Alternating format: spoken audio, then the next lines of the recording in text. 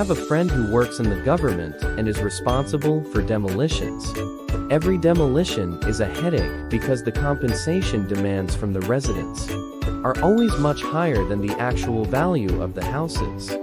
You can feel that they are not intentionally asking for exorbitant amounts. They just don't want to move. What to do? To address the what to do question, we first need to understand the essence of the problem. One reason residents generally overvalue their houses is their reluctance to change the accustomed status quo. If you must bring about change, be prepared to incur additional costs to offset resistance to change. This psychological phenomenon of reluctance to change is called status quo bias. In 1984, Kenneth conducted an experiment.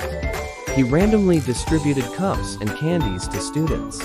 After a while, he told the students they could choose to exchange what they had with something they liked better.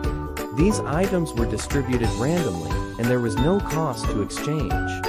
However, 90% of the students chose not to exchange. This experiment is interesting because, with random distribution, you cannot say that those who chose cups liked cups, and those who chose candies liked candies. While such preferences may exist, the fact that up to 90% chose not to exchange indicates that people generally resist changing the status quo. If you genuinely want to change the status quo, you must be willing to pay an additional cost. So, how high is this additional cost? Consider someone buying a used car, a BMW priced at $500,000. They love it, but are only willing to offer $400,000. After some hesitation, the dealer agrees. The buyer is happy, pays for the car, and goes to get gas. The gas station owner also admires the car and offers 53000, but the buyer decisively refuses. Upon returning home, the buyer suddenly realizes that before the purchase, they believed the car was only worth $400,000. However, after getting it, they wouldn't sell it for $530,000. They lost $130,000 just because they already owned the car and didn't want to change. The cost of status quo bias for them was valued at $130,000. Status quo bias. What is status quo bias? It's a psychological phenomenon where individuals are unwilling to change, even when changing the status quo is more advantageous. So, what should my friend do? He can employ a relocation strategy, providing transitional housing for displaced residents, and promising they can return to the original location after a few years. As people live in the new homes for some time, the existing status quo bias is broken, and a new one forms. The emotional attachment to the old house diminishes, and the new house becomes a home, making government demolition tasks easier to accomplish.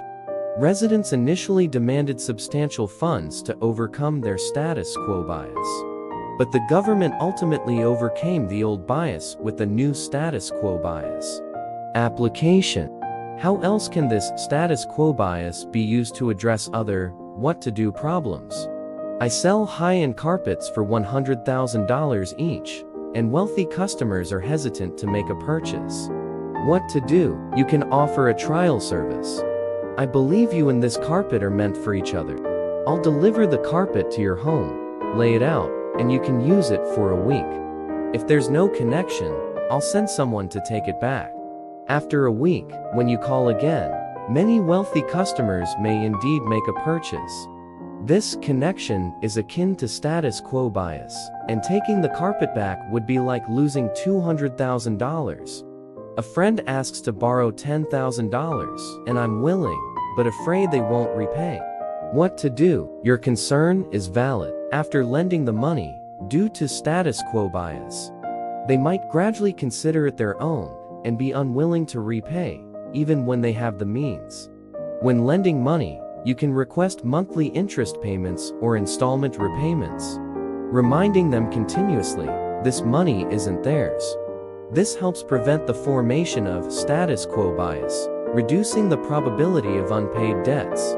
I sell video membership services, and convincing users is challenging. What to do, you can learn from telecommunications companies. When answering a call, say, I've upgraded your bandwidth from 10 meters to 100 meters for free. When they ask, How long is it free? Reply, 3 months. After 3 months, you can call to downgrade back to 10 meters. Can you guess if, after 3 months, they can overcome status quo bias and make that call? Key takeaways. In conclusion, let's summarize. Status quo bias is a psychological phenomenon where individuals are unwilling to change, even when changing the status quo is more advantageous.